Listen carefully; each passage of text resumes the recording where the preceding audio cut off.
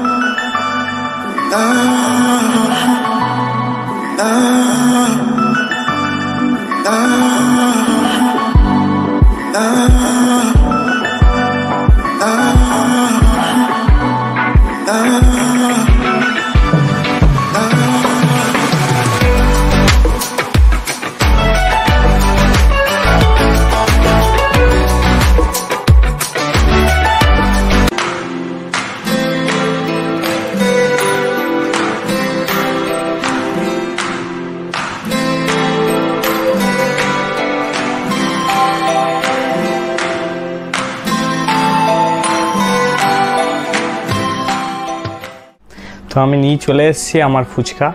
তো এবার আমি খাব। খেয়ে বলব কেমন হয়েছে। কারণ হচ্ছে যে ফার্স্ট টাইম আমার মনে হয় যে এত সুন্দর ফুচকা বাড়িতে হলো। মানে মা যেটা করেছে এবারে দারুণ করে দিয়েছে। মানে বলে বুঝাতে পারব না। তো এবারে দেখে মনে হচ্ছে, এবার খেয়ে পা বলতে হবে কেমন খেতে হয়েছে, না হয়েছে। তো চলো আমি এটার ভিতরে পুরটা ভরি, তারপরে খাচ্ছি। মেনলি আগে যখন করা হতো, তখন এই যে বলসগুলো আছে, এগুলো হতো না। তো বলসগুলো এখন পাওয়া গেছে। এটা জাস্ট লাইক পাঁপড়ের মতনই ভেজে নিতে হয়। দিয়ে পরে এটার ভিতরে পুর ভরে তোমরা খেতে পারবে ইজিলি ইজিলি ভাজতে পারবে ইজিলি যে কেউ। নিজের থেকে গোলুল ঘুরিয়ে যাচ্ছে কোনো সমস্যা নেই, কিছু না। তার আলু পুরটা ঢুকাই এর ভিতরে। তারপরে খেয়ে পরে বলি কেমন হয়েছে। চলো। লেটস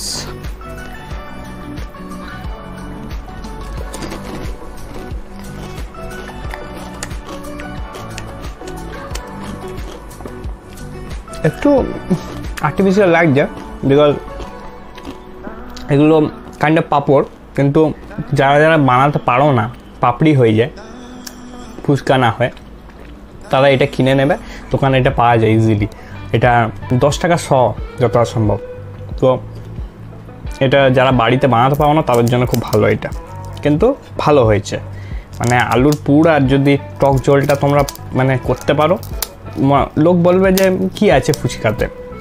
কিন্তু ফুচকাতে যদি টক জলটা ঠিক মতন না হয়, আর আলুটা ঠিক মতন না হয়, তাহলে কিন্তু জিনিসটা ভালো হবে না। জিনিসটা ফুটে উঠবে না। তোমার শুধু আর্টিফিশিয়াল এটা বানিয়ে নিলে কিন্তু আলুর পুরটা ঠিক মতো বানালে না।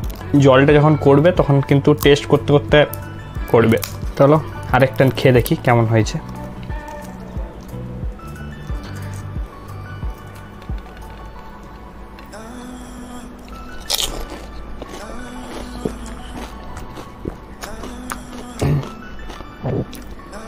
এই ফুচকাগুলো? প্লাস পয়েন্ট আর মাইনাস পয়েন্ট বললে। প্লাস পয়েন্ট হচ্ছে এটা তুমি এটা জলের ভিতরে ঢুকিয়ে দাও তাড়াতাড়ি মিয়ে যাচ্ছে না। কিন্তু তোমরা যদি নর্মাল ফুচকা খাও, তাহলে একবার জলে ঢোকালে ওটা মিয়ে যায়। তো এটা এটা প্লাস পয়েন্ট আবার মচমচেও আছে। আর মাইনাস পয়েন্টটা ওটাই। জলে ডুবালে যেমন ওইটা মিয়ান একটু হয়ে যায়, কিন্তু এটা অত মিয়াচ্ছে না। এটা ঠিক থাকছে। ওটার জন্য একটু আর্টিফিশিয়াল লাগছে, আর ওটার জন্যই ভালোও বলব, এটার জন্য আর খারাপও এটাই, একটাই পয়েন্ট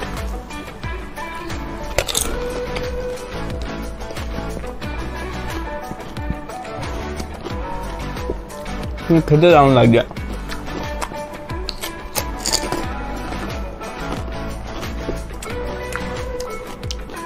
আমি আরও খাব ভাবো না চারটে খাব কিন্তু তোমার জন্য চারটে খেয়ে দেখালাম কেমন হয়েছে বললাম তো চ আমি খেয়ে নিই এটা একটু খেয়ে যা খেয়ে পরে কথা বলছি তো গাইস এটাই ছিল আজকের ভিডিও ফুচকা নিয়ে তো বাড়িতে ফার্স্ট টাইম এত সুন্দর ফুচকা হলো সেটা তোমার সাথে শেয়ার করলাম আর আমি মাইকটা চেঞ্জ করেছি, তো তোমাদের সাউন্ড কোয়ালিটি এখন কি বেটার পাচ্ছ কি না সেটা আমার কমেন্ট করে জানিও। কারণ হচ্ছে যে একটা ইনভেস্ট করলাম আমি বিকজ সাউন্ড কোয়ালিটি ব্লগিংয়ের জন্য খুব ইম্পর্টেন্ট তো সেই জন্য আমি ভাবলাম যে বয়া এম ওয়ানটা কিনে নেওয়া ভালো। তখন আমি কিনে নিলাম আর ভাবলাম না বেশি। তো যেহেতু আমি এটাতে কন্টিনিউ এখন করব, তো সেই জন্যে তোমাদের সাপোর্ট চাই। আর আমি এরকম ধরনের নিজের রিক্রুটমেন্টসও আস্তে আস্তে বাড়াবো। তোমরা আমাকে এরকম করে সাপোর্ট করতে থাকো আমি এরকম ধরনের ভিডিওস আনতে থাকব। তো আজকে ভিডিওটা এই অবধি থাকুক। ফার্স্ট টাইম ফুচকা বানাতে পেরে কেমন লাগছে? খুব ভালো লাগছে আগে ট্রাই করেছি কিন্তু হয়নি ঠিক মতো এবার একটা ঠিক মতো সব পারফেক্ট সব কিছু হয়েছে সুন্দরভাবে। ভালো বেশ আনন্দই লাগছে। একটু রেসিপিটা বলে দাও। রেসিপিটা হচ্ছে প্রথমে ফুচকা বাইরে থেকে বাজার থেকে ফুচকার যে পাঁপড় হয় সেই কিনে আনতে হবে। তেলে সেটা ভেজে নিতে হবে, তারপরে আলু সেদ্ধ করতে হবে। আলু সেদ্ধর মধ্যে ভাজা মশলা, ধনে, জিরে, লঙ্কা গুঁড়ো, তারপরে দিতে হবে চাট মশলা, লেবু, ছোলা সেদ্ধ মটর পেঁয়াজ, শসা, এসব নুন, বিট নুন এমনি নর্মাল নুন দিয়ে মেখে নিতে হবে। কাঁচা লঙ্কা সব দিয়ে আলুটা মেখে নিতে হবে। তারপরে করতে হবে জল। তেঁতুল জল। তেঁতুলটা ভিজিয়ে রাখতে হবে, ভিজিয়ে রেখে তেঁতুল জলের মধ্যে দিতে হবে ভাজা মশলা। ওই যে ধনে জিরে, লঙ্কার মশলাটা, একটু লেবু দিতে হবে, চাট মশলা দিতে হবে, বিট নুন আর নর্মাল যে নুন হয় সেই দিতে হবে। দিয়ে ওটা তৈরি করতে হবে। দিয়ে এইভাবেই হয়ে যাবে সহজ রেসিপি কিছুই নয়।